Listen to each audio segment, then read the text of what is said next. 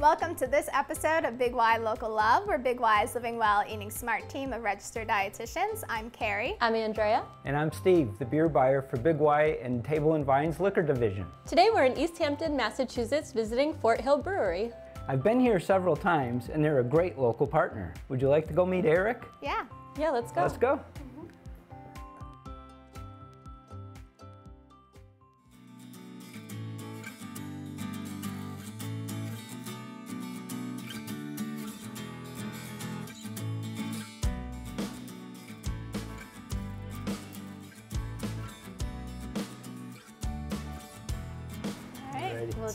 Well, Cheers. guys. Cheers. Glad to be here. That's really good. Oh, there's Eric. Hi. Andrea, Hey, Carrie, Eric. glad you could bring Hi. Steve along. Absolutely. We'd be lost without him. Yeah, so thank you for having us here today. Glad to have you. So Steve said we've partnered with you for many years now. Oh. How did you get started doing this? Well, it's been five years now, Yes, and truthfully, the reason why we chose Easthampton is because of our water source, the Barnes Aquifer. We won the tastiest water in 2015.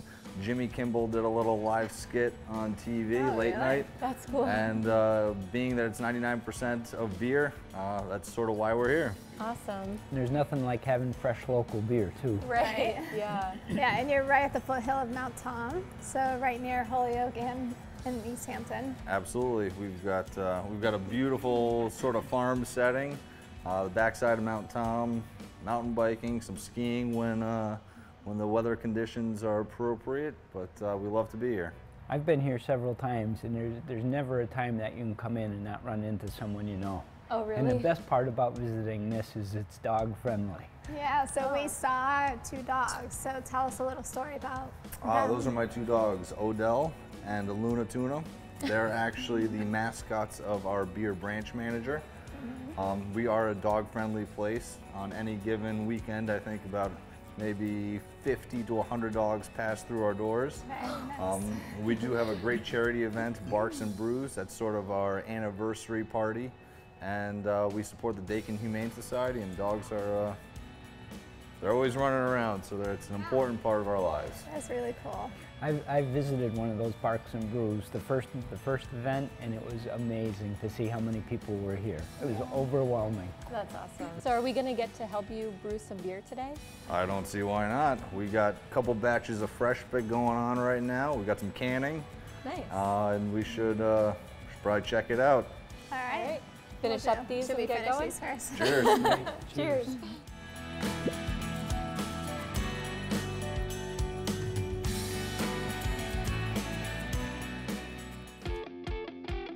Hey guys, come on for a tour. All right, thank you. Wow. Mind your step.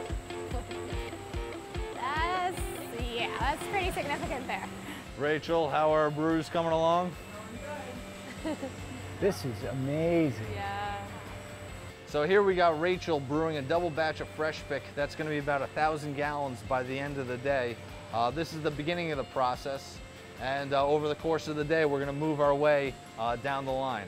So right now we're dealing with the grain. We've got our malt mill over here, and then uh, we'll cool it down, add the yeast, and then throughout the fermentation process, add hops for our IPAs, of course. Wow, interesting. And you built all of this from scratch? Yeah, this building's about five years old. Me and my cousin, uh, we sort of had the opportunity to build a, a brewery from the ground up. Uh, even the floors are sloped towards the drain so we can keep everything clean. And uh, so far it's been working pretty well. Right now we're in the mash steeping the grains at about 120 degrees. Uh, why don't you come on up and I'll show you how it's done.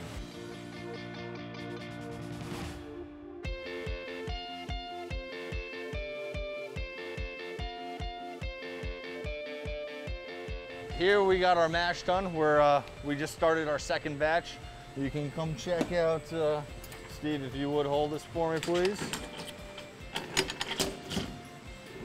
Watch your face, it's very hot. Oh, wow. But here we got our greens. Uh, typically we'll, uh, we're making sure that we're just making a porridge Yep. of uh, grain. We're extracting all the sugar from it. And then the next tank, we're gonna separate the, uh, the grains from the sugars and ultimately add the hops in the kettle. So do the grains change based on what beer you're making? Absolutely, not only for color, but we'll, for taste of course, but we also use different temperatures inside the mash uh, for our lagers as opposed to our ales. Um, we've got a very sophisticated system, so we're not only able to change the grain bill, but also the temperatures in the mash tun have a huge impact on the, uh, on the end result. That's amazing. So how much beer would this turn into? So this is going to be 1,500 gallons worth of, uh, of beer in the end. Typically inside our fermentation tanks we'll quadruple them, but and that'll be 6,000 gallons worth of beer. Probably more beer than you can drink in a lifetime. I'm I trying. was gonna say, some, some will try. So Eric, what's going on in this section? So these are our fermentation tanks. And actually we just had these modified so that we can create more fresh pick and jigsaw jazz. Uh, each tank we probably spent about $11,000 in terms of tank modification so that we can recirculate the hops, carbonate them, uh, and produce more fresh beer as quickly as possible. So Um, basically you're doing more in one tank than you were before? Absolutely. Uh, other breweries throughout the country uh, use several different tanks in their fermentation cellar.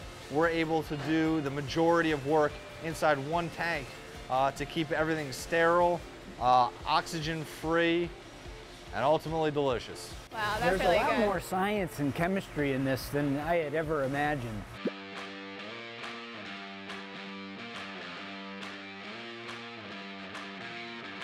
So we're in the back corner of our packaging area. You can see that we've got a thousand empty kegs waiting to be filled.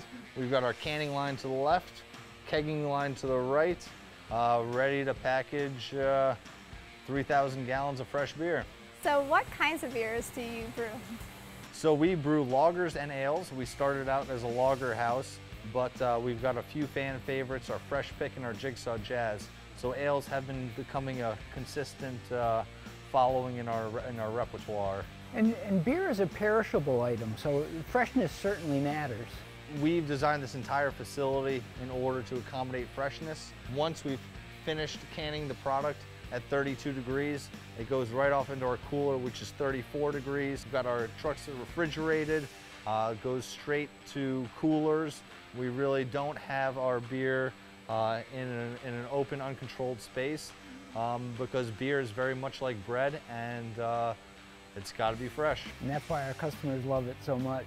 We try our best. So can we get a hand on uh, packing over there? Absolutely. Why don't you come this way? Cool.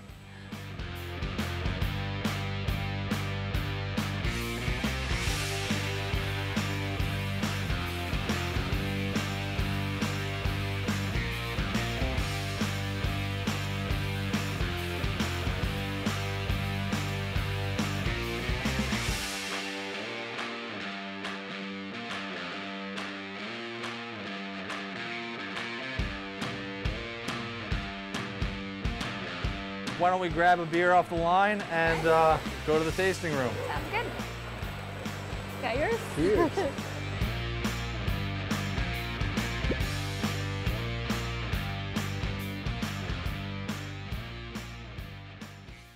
So Eric, what has your experience been working with Steve and having your brand in Table and Vine and Big Y? Well, we're very thankful that Big Y shares the same vision that we have.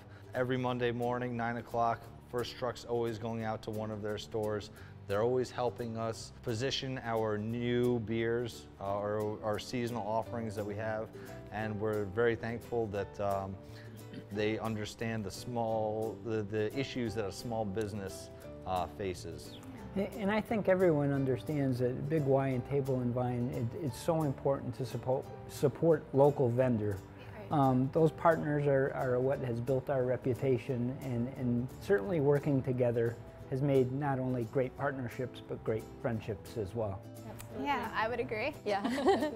if you enjoyed this episode of Big Y Local Love, be sure to follow our other adventures on bigY.com slash local love and follow Big Y and Living Well Eating Smart on Facebook, Instagram, and YouTube. Cheers.